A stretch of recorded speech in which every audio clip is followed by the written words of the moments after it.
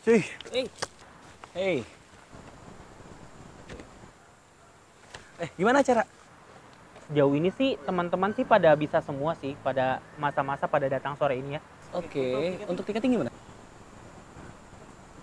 Tiketing hampir sold out. Oke, syukur lancar ya semuanya ya. Eh, ini aja sih cuy, aku mau ngasih masukan untuk rundown yang udah kita sepakati kemarin. Oke. Em, sepertinya aku ada sedikit perubahan, tapi tidak merubah esensi acara sih. Bagaimana kalau di ending acara itu teman-teman musik perform dan teman-teman teater itu ngerespon dari musik itu gimana? Nah, itu tadi tadi kita sudah ada bahas juga ya. Jadi kita tuh kayak jauh lebih mempreparekan tuh kayak gini. Sorry. Jadi kan teman-teman musik kan sudah dari awal tuh kita kasih kita kayak musik musik musik gitu. Nah, untuk yang terakhir tuh kita pikirkan tuh gimana caranya supaya di akhir itu penampilannya berbeda. Oke. Dan makanya kita bilang kita gimana kalau teman-teman teater nampilnya di akhir. Karena teman-teman teater tuh bisa fleksibel memanfaatkan ruang dan suasana gitu kan. Dan jadi teman-teman teater tuh kayak nampil teater terus teman-teman musik tuh cukup ngiringin aja. Justru itu, justru itu. Justru karena teater ini fleksibel, lebih enak untuk ngerespon musik Kalau menurut aku lebih out of the box-nya kalau misalnya teater tuh di puncak acaranya dan diiringin oleh musik yang secara live gitu sih. Nah, ini gini gini, eh, teknis acara nih ya, kita be- berangkat ke flyer dan judul acara. Flyernya udah jelas men, musik men. Dan aku yakin orang-orang datang di rumah itu pengen ya udah musik gitu. Ekspektasi mereka bakal dapetin musik.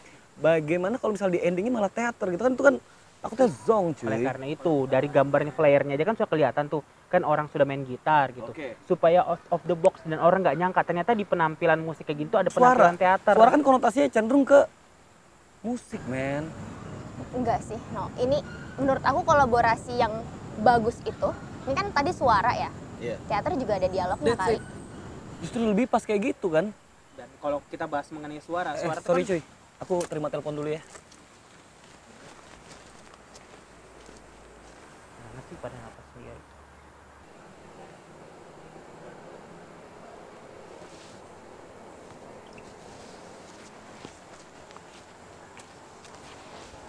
Eh, gimana sampai mana tadi? Apa yang kelihatan? Kalau ya itu kita tetap mikirnya tetap ya penampilan teater terus teman-teman ngiringin musik di akhir ya. Mikirnya sih kayak gitu gitu. Gini, gini, gini, gini. Ini waktu udah makin singkat cuy.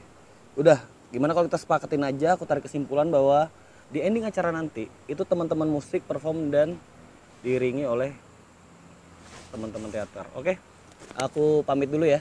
Eh, terima kasih, sampai jumpa di acara nanti.